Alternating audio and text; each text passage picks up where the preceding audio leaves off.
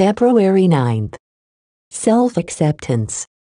When we accept ourselves, we can accept others into our lives, unconditionally, probably for the first time. IP number 19 Self acceptance.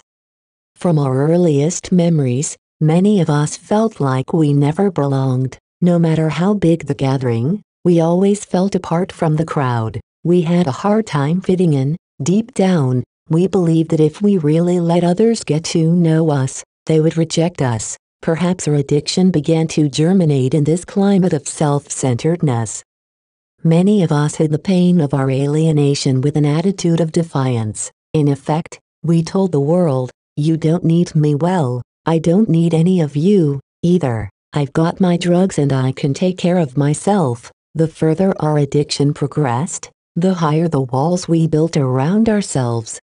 Those walls begin to fall when we start finding acceptance from other recovering addicts. With this acceptance from others, we begin to learn the important principle of self-acceptance. And when we start to accept ourselves, we can allow others to take part in our lives without fear of rejection.